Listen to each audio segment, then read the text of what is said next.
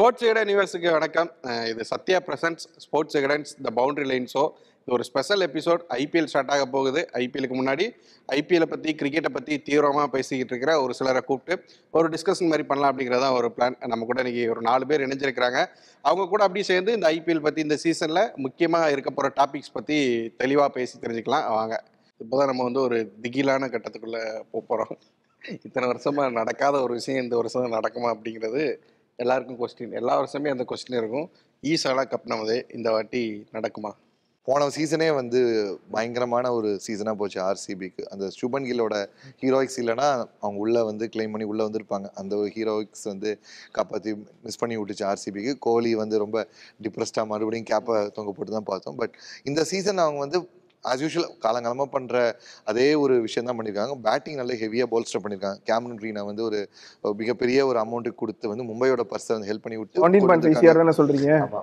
இல்ல மிகப்பெரிய அமௌண்ட்டுங்கும் போது எங்களுக்கு ஒரு சந்தேகம் வருது. இருக்கிறவங்களுக்கு அங்க இருக்க ஒரு ஐகான் பிளேயரோட வேல்யூ கொடுத்து கொண்டு வந்திருக்காங்க. அவங்க மறுபடியும் பேட்டிங் வந்து போல்ஸ்டர் பண்ணியிருக்காங்க திருப்பி வந்து வில் ஜாக்ஸ் அந்த மாதிரி உள்ள வச்சிருக்காங்க. பட் பேட்டிங் ஸ்ட்ராங் அவங்களோட அவங்களோட ஸ்ட்ரென்த் பொறுத்த வரைக்கும் ஓப்பனிங் வந்து ஃபர்ஸ்ட் ஆட விட்டிங்கன்னா டூ ஃபார்ட்டி டூ ஃபிஃப்டி சாலிடாக செட் பண்ணக்கூடிய ஒரு டீம் பட் அதே அளவு அமௌண்ட்டை வந்து கொடுக்கக்கூடிய ஒரு போலர்ஸ் அவங்க எடுத்திருக்காங்க. டிஸ்கஸ் பண்ண வேண்டியது பவுலிங் எப்படி இருக்க போகுது? நான் பவுலிங் பத்தி டிஸ்கஸ் பண்ணும்பொழுது Alzarri Joseph Lockie Ferguson Vyshak Vijaykumar இருக்காரு சிராஜ் இருக்காரு. சபாஸ் அகமதோட ட்ரேடுங்கிறது வந்து ஐ திங்க் நான் ஒத்துக்க மாட்டேன். ரீஸ்டாப் லீக் ரீஸ்டாப்ல இன்ஜுரி இப்போ வரைக்கும் பார்த்தீங்கன்னா மூணு நாலு ஃபாரினர்ல மூணு ஃபாரினர் டெஃபினட்டாக மேக்ஸ் ஃபேஃப் கிரீன் மூணு பேர் இருப்பாங்க. இப்போ இன்னொரு ஒரு ஒரு ஃபாரினர் ஸோ இருக்கக்கூடிய பவுலர்ஸுகளோட கோட்டால இப்போ இந்தியன்ஸ்களை மட்டும் தான் ஆடணும். Vyshak Vijaykumar Karnataka player so I think நான் அவரோட அதான் பவுலிங் நம்ம டிவியில் பார்க்குறது நேரில் பார்க்கும்போது எனக்கு ரொம்ப டிஃப்ரெண்ட்டாக இருந்தது. ஸோ நல்ல பேஸில் போறாரு. என்னன்னா ஒரே ஒரு விஷயம் மிராக்கிள் அன்னைக்கு டே வந்து ஒரு சிராஜ் கூட இப்போ என்னன்னா இப்படியோ பேட்டர்ஸ் வந்து அவங்க அவங்களோட பேட்டிங்லாம் இரநூறு ரன் அவங்க சின்ன ஸ்வாமியில் இரநூத்தி இருபது ரன் அடிச்சிருவாங்க அப்படிங்கிற மாதிரி எனக்கு பர்டிகுலராக தோணுது. பட் அந்த பவுலர்ஸ்கள் டிஃபெண்ட் பண் பண்ணும் பட்சத்தில் சர்ப்ரைஸாக ஒரு ஹோமில் வந்து ஒரு மூணு நாலு மேட்ச் வின் பண்ணி அவேல அவங்களோட பவுலிங் நல்லா ஒர்க் அவுட் ஆகி. ஸோ என்னை பொறுத்த வரைக்கும் அல்ஸ்ரிச்சஸ் எல்லாரும் ட்ரோல் பண்ணுவாங்க. பட் எனக்கு அல்ஸ்ரிச்சஸ் பர்டிகுலராக பிடிக்கும். ஸோ கொஞ்சம் பாலை ஒரு மூவ் பண்ணுவார். கொஞ்சம் கொஞ்சம் ஸ்விங் பண்ணுவாருங்கிறதுனால லக்கி ஃபெர்கன் அடிக்கிறது அடித்து ஏற்றுறத விட எனக்கு அல்ஸ்ரிச்சஸோட ஸ்விங்குங்கிறதுல எனக்கு ஒரு நம்பிக்கை இருக்குது. ஸோ பர்டிகுலராக அந்த ஒரு ஃபாரின் ஸ்பின்னர் சாரி ஒரு ஃபாரின் ஃபாஸ்ட் பவுலர்னா அல்ஸ்ரிச்சஸ் போயிட்டு வைஷக் விஜயகுமார் ஆகாஷ் தீப் இருக்கிறாரு. சிராஜ் இருக்கிறாரு. ஸோ இந்த த்ரீ இந்த மூணு பேஸ் மேல லாமரார் மயங்க் டங்கர் இவங்க ரெண்டு பேர்த்துல ஆட வைப்பேன் ஸோ எனக்கு என்னன்னா என்னோட பேட்டர்ஸ் நல்லா பண்ணிடுவாங்க கம்ப்ளீட்டா இந்த டி டுவெண்ட்டி கிரிக்கெட் பொறுத்த வரைக்கும் அஞ்சு பிளேயர் நல்லா பண்ணா போதும். ஒரு ஆறு பிளேயர் நல்லா பண்ணா போதும். அதில் பேட்டிங்ல ஒரு மூணு நாலு பேர் பண்ணி எனக்கு பவுலிங்ல ஒரு சிராஜ் கூட இன்னொரு பவுலர் அன்னைக்கு டேவா இருக்கும் பட்சத்துல சர் மிராக்கல் ஸோ கிரிக்கெட் பொறுத்த வரைக்கும் நம்மளுக்கு நிறைய சர்ப்ரைஸ் பண்ணும். கிரிக்கெட்ல அப்படி ஆனால் ஆர்சிபியை பொறுத்த வரைக்கும் அஞ்சு பேர் நல்லா பண்ணி ஒருத்தர் மேட்சை கொடுத்துட்டு போயிடுறாரு. அது நடக்கிறது தான் அவங்க அவங்க சீசனே வந்து பார்த்தா பவுலிங் எப்பயுமே வந்து ஒஸ்டா இருக்கும் உமேஷ் யாதவ் ஒரு மாதிரி சூப்பரா போடுவார். சகல் நல்லா போடுவார். பட் அடுத்த ஒரு எண்ட்ல கூட போடுறது யாரும் இருக்க மாட்டாங்க. பட் மேபி இந்த சீசன் சர்ப்ரைஸ் பண்ணுவாங்கன்னு இப்ப தெரியல யோசிச்சு பார்க்கும்போது அந்த செஹலை விட்டது எவ்வளவு பெரிய தப்பா தெரியுது. எல்லாரும் சொல்றாங்க இந்த கிரவுண்ட்ல யாருமே போட முடியாதுங்க. அப்படி ஒரு ஆள் போடுறான் நான் அவனை எப்படிங்க நீங்க ஆக்ஷன்ல விடுவீங்க? ஆனா என்ன விஷயம்னா அவங்க பேட்டர்ஸ்க்கு நிறைய இன்வெஸ்ட் பண்ணிடுறாங்க. ஸோ ஒருத்த ஒரு ஒரு அதாவது கேமரன் கிரீன் எம்ஐ எடுக்கும் பொழுதுமே அது எம்ஐ ஃபேன்ஸ் இவ்வளோ தேவையில்ல. என்னை பொறுத்த வரைக்கும் இவ்வளோ எக்ஸ்ட்ரா ஒரு எட்டு கோடி அப்படிங்கிறது என்னை பொறுத்தவரையுமே கொஞ்சம் அதிகமாக தான் இருந்துச்சு. இப்போ க்ரீனை எங்க ட்ரேட் பண்ணும்போது கொஞ்சம் அவங்க யோசிச்சு யோசிச்சிருந்திருக்கலாம் ஸோ இன்வெஸ்ட் பண்ணிட்டாங்க. அதுக்கு பதிலாக ஒரு பவுலர் மேலே இன்வெஸ்ட் பண்ணிருக்கலாம். பட் ஆனால் என்ன ஆக்ஷன் டேபிள் வந்து உட்காரும் பொழுது அவங்கள ஆட விட மாட்டாங்க செக் பண்ணி செக்மேட் நீ செக்மேட் அவ்வளோ எடுக்க முடியாது எடுக்க முடியாதுங்கிற மாதிரி பண்றதுனால தான் வேற வழி அந்த ஒரு விஷயம் நீங்க வந்து நாற்பது கோடி அவங்கள்ட்ட இருந்துச்சு. இந்த கிரீன் ட்ரேடுக்கு அவங்க ஏன் போனாங்க? போகாம நீங்க ஆக்ஷனுக்கு போயிருந்தீங்கன்னா கண்ணை மூடிட்டு மிச்சல் ஸ்டார்க்கு எடுத்துருக்கலாம். எப்படி இருந்திருக்கும்? மிச்சல் ஸ்டார்க்கு பேட் கமிங்ஸுக்கு போயிருக்கலாம் பட் மிச்சல் ஸ்டார்க்கே நீங்க போகலாம் நாற்பது கோடி. தேர்ட்டி ஃபோர் கிட்ட வச்சிருந்தாங்க நினைக்கிறேன் குஜராத். அவங்களோட தான் ஹையஸ்ட் இருந்துச்சு. நீங்கள் நாற்பது வச்சிருக்கீங்கன்னா கண்ணை மூடிட்டு நீங்கள் மிச்சல் ஸ்டார்க்கு போகலாம் போயிட்டீங்கன்னா மிச்சல் ஸ்டார்க்கு முகமது சிராஜ் அதுக்கப்புறம் நீங்கள் ஒரு மூணு போலர் மேக்ஸ்வெல் ஒரு நாலு ஓவர் எப்படி இருந்தாலும் ஏமாத்தி போட்டுறாரு பன்னெண்டு ஓவர் உங்களுக்கு சாலிடாக வந்துடுது. அவங்க ஏன் க்ரீன் ட்ரேடுக்கு போனாங்க அப்படின்னு எனக்கு ஃபஸ்ட்டு தெரியல. பட் எனிவே நான் ரொம்ப சான்சஸ்லாம் ரைட் ஆஃப் பண்ண மாட்டேன். ரீஸ்டாப்லிக்கு நல்ல சீசனாக அமைஞ்சு சிராஜ் ரீஸ்டாப்லி இந்த ப- என்னை பொறுத்த வரைக்கும் நான் அல்சாரி அண்ட் லாக்கியை விட ஐ பிலீவ் ரீஸ்டாப்லி ரொம்ப அங்கே ஏன்னா அங்கே வந்து கிரவுண்ட்ஸ் உங்களுக்கு ஷார்ட் இவங்க ரெண்டு பேருமே கொஞ்சம் செஸ்ட்டுக்கு போடக்கூடிய பவுலர்ஸ் நீங்கள் மிஸ்டேக் பண்ணால் கூட பால் சிக்ஸ் போயிடும் ஸோ உங்களுக்கு மேலே போடக்கூடிய பவுலர் வேணும். ரீஸ்டாப்லிக்கு ஒரு நல்ல சீசன் வேணுன்றதை விட ரீஸ்டாப்லி முதல் பதினாலு மேட்ச் ஆடணுன்றது பெரிய ரிஸ்க் பெரிய எபிலிட்டி என்னன்னா ஒரு பெரிய டோர்னமெண்ட்டுக்கு ஒரு வாரத்துக்கு முன்னாடி இன்ஜுரி ஆகிட்டு அப்படிங்கிறது அடுத்த அடுத்த பெரிய டோர்னமெண்ட்டுக்கு அங்க போயிருவாரு அதே மாதிரி ரெண்டு மேட்ச் மட்டும். இங்கிலாந்துலயே பாத்துக்கோ டி டுவெண்ட்டி டீம்ல எடுப்பாங்க. இன்ஜுரி வெளியே போயிருவாரு நம்ம நம்ம. எப்பயுமே சஞ்சு சாம்சன் சொல்லுவோம். ஒரு முதல் மூணு மேட்ச் மட்டும் அடிப்பாரு அடுத்த பதினோரு மேட்ச் மறந்துடுவாரு கேமே அப்படின்ட்டு. அதே மாதிரி ஒரு மூணு மேட்ச் தான் ஆடுறாரு. அவருக்கு ஒரு நல்ல சீசன் அமையணும். ஏன்னா அவர் வந்து ஒன்னு லெஃப்ட் ஆம் வெரைட்டி கொண்டு வராரு. இன்னொன்னு பால் நல்லா மேல போடுவாரு ஸ்விங் பண்ணுவாரு. ஸோ அவருக்கு நல்ல சீசன் அமைஞ்சு சிராஜுக்கும் நல்ல சீசன் ரெண்டு பேருக்கும் கோயின்சைட் ஆகி ஆகணும். ஒரு மேட்ச் இவர் நல்லா போட்டு அப்படிலாம் ஆகாது. ஏன்னா அஃப்கோர்ஸ் உங்களுக்கு கிரீன் போடுவாரு பட் கிரீன் வந்து எம்ஐல போடும்போதே ஒன்றும் அவ்வளோ எக்ஸ்ட்ரானரியாலாம் போடல வான்கடையில் அப்போ அவரை கூப்பிட்டு. அவரை கூப்பிட்டு நீங்க சின்னசாமியில வந்து போடு. கிரீன் பேட்டிங் சூப்பர் பேட்டிங் வந்து நல்ல சாலிடா கிளர் போல்ஸ்டர் பண்ணிருக்காங்க. பட் bowling ஆஃப் கிரீன் வந்து தேவையே கிடையாது. இல்ல ஒரு ஆப்ஷன் இருக்கு. வில் ஜாக்ஸையும் ஆடிட்டு ஃபுல்லா இந்தியன் டீம் போடுறது அப்படியே பவுலிங்ல அதாவது சிராஜ் ஆகாஷ் தீப் வைசாக் விஜயகுமார் மயங்க் டாகர் இப்படி ஒரு நாலு வச்சுட்டு கிரீனு மேக்ஸ்வெல் இருக்காங்க இல்லையா? வில் ஜாக்ஸும் போடுவாரு. ஸோ வில் ஜாக்ஸும் பவர் பிளேலையும் போடுவாரு.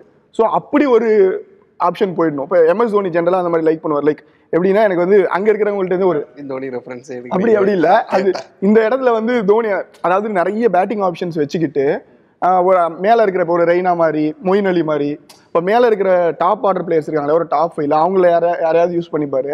ஸோ அந்த மாதிரி இவங்க போகலாம் ஏன்னா க்ரீனும் டீஸ் க்ரீனை நம்ம அடுத்த ஹார்திக் பாண்டியன் பேசிட்டு இருக்கிறோம். ஸோ அவரு மேக்ஸ்வெல் போன வருஷமே எல்லா மேட்சும் நாலு ஓவர் டீசெண்டாக போட்டாரு. அவரு இந்த மார்க்ராம்லாம் போடுவாங்க. ரெண்டு மூணு ஓவர் போட்டுட்டு பண்ணிடுவாங்க. அண்ட் நீங்க வில் ஜாக்ஸும் போடுறாரு. ஸோ அவங்கள்ட்ட ஒரு எட்டு ஓவர் உங்களால வாங்க முடியும். தாராளமா எட்டு ஓவர் வாங்கிடலாம் இந்த மூணு பேர்ட்ட இருந்து. பிளஸ் நான் சொன்ன மாதிரி ஒரு மைண்ட் டாகர் லாம்ரார் இருக்காரு. லாம்ரார் டாகர் இருக்காரு. ட்ரேட் பண்ணிருக்காங்க. சோ அவங்க மேபி போறதுக்கு சான்ஸ் இருக்கு. பிளஸ் சிராஜ் வந்து பாத்தீங்கன்னா ஆர்சிபிக்குனா ஒரு தனியா போடுறாரு இப்போ ரீசன்ட் பாஸ்ட் டைம்ல இன்கன்சிஸ்டன்டா இருக்கிறாரு. ரெட் பால் ஒயிட் பால் இதுல இருக்கிறார். பட் ஆர்சிபிக்குனா மட்டும் அவர் தனியா அவர் அங்க ஒரு லீடர் அதை அட்டாக்கா விட்டுறாங்க இப்ப இங்க வரும்போது ஒரு பும்ரா ஷமி அவங்களோட ஒரு அண்டர் ஸ்டடியா இருக்காரு. அங்க போகும்போது அவர் லீடர் ஆஃப் அட்டாக்கா இருக்காரு. இந்த சின்ன சுவாமியில எல்லாரும் போடுறதுக்கு கஷ்டப்படும்போது அவர் மட்டும் தனியா என்னடா இந்த இந்த இந்த கண்டிஷன்ல எப்படா இவர் போறாரு? இந்த- டைமென்ஷன்ஸ் இருக்கக்கூடிய பிச்சில் எப்படா போறாரு? சஹல் எப்படி ஸ்பின்லயோ ஃபாஸ்ட் பாலிங்ல சிராஜ் அஹ் கிட்டத்தட்ட எனக்கு தெரிஞ்சு பவுலர்ஸில் ஆர்சிபி பவுலர்ஸுக்கு யாரும் அவ்வளோ சிறப்பாக சின்ன சமையல் போட்டதில்ல. ஏன்னா அங்கே அவர் இருக்கிறாரு. ஸோ அதான் அவர் கூட தோப்லி இல்லை அல்சர் ஜோசப் யாராவது ஒருத்தவங்க கிளிக் ஆகிட்டாங்க அப்படின்னா டெஃபினட்டாக சர்ப்ரைஸ் பண்ணலாம் மிராக்கிள் நடக்கலாம் அதிசயம் அற்புதம் மேபி கேஜிஎஃப் வச்சு நிறைய எடிட் போட்டிருப்பீங்க. அதெல்லாம் இந்த வாட்டி பாசிபிலிட்டியா நடக்குமா? இல்லைக்கா ஒரு ஃபிஃப்டீன் இயர்ஸாக பார்த்தாலே ஆர்சிபி ஒரு டாப் சிக்ஸ் பார்த்தாலே இதான்டா இதான்டா டீம்ன்ற மாதிரி தான் எப்பயுமே இருக்கும். ஆனால் அதுக்கு ஏற்ற மாதிரியே பவுலர்ஸ் இத்தனை வருஷமாக அந்த எப்படியே அவங்களோ கொடுக்குறாங்களோ இவங்க இவங்க அடிச்சிருவாங்கன்ற மாதிரி இந்த இதுலேயே போயிட்டு இருக்கும் ஸோ எப்பயும் போல சொன்ன மாதிரி பேட்டிங்கில் ஒன்றும் பிரச்சனை இல்லை. ஆர்சிபியோட பேட்டர்ஸுக்கும் ஆர்சிபியோட பேட்டிங்கும் பவுலிங் பவுலர்ஸுக்கும் இன்னொன்னு அவங்க வந்து bowlingல வந்து ஸ்பின்னர்ஸை பெருசா எடுக்கவே இல்லை. சொன்ன மாதிரி சஹால் ஒரு பெரிய மிஸ் அவங்களுக்கு. மிஸ் தான் ஃபீல் பண்ணிட்டு இருக்காங்க கர்நாடகால இருந்து ஸ்ரேயாஸ் கோபாலாவது இவங்க எடுப்பாங்க. அப்படிங்கும்போது அவங்க எடுக்கவும் இல்லை. அது ஒரு பெரிய ஒன்றரை கோடி ரூபாய்க்கு. அசரங்காவையும் எடுக்கல. வைஷாக் விஜயகுமாரையும் யஷ்தாயாலும் மீன் பிலீவ் பண்ணி எடுத்தாங்க லோக்கல் டேலண்ட் சொல்லி வைஷாக். விஜயகுமார் போன வருஷம் வந்து நல்லா பண்ணாரு. பிளஸ் ஒரு கர்நாடகா பிளேயர் அதே மாதிரி யஷ்தாயாலும் கொண்டு வந்திருக்காங்க. கொண்டு வந்திருக்காங்க. பட் ஆனா கூட வந்து ஒரு ஸ்பின்னர் அவங்க ஊர்லயே இருந்த ஸ்பின்னர் வந்து ஒரு சுஜித் ஜெக- ஜெகதீன் சுஜித் இல்ல வந்து ஸ்ரேயாஸ் கோபாலே கொண்டு வந்தா கரெக்டா இருக்கும். அந்த ஸ்பின் ஃபேக்டர் தான் வந்து ஆர்சிபியை வந்து டாப்பிள் பண்ணி மாத்துறது. இப்போ சேப்பாக்கு மாதிரி ஒரு பிச் ஆடும்போது இங்க ஒரு ஸ்பின் இல்லைன்னா அவ்வளவுதான்.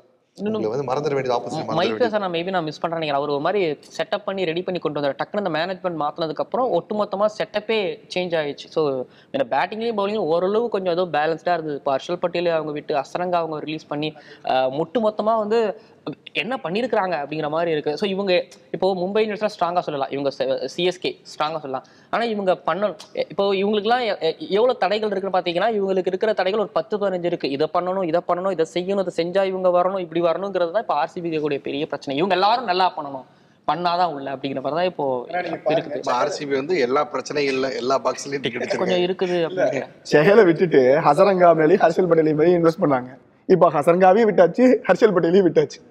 ஸோ உங்களுக்கு வந்து யார் சாலிடா பர்ஃபார்ம் பண்றாங்களோ அந்த பிளேயரை நீங்க தக்க வச்சிருந்துருக்கணும் இல்லையா? அங்க ஏன்னா நான் ஏன் திருப்பி அங்க போறேன்னா அங்க அவங்க நிறைய தோத்துட்டாங்க.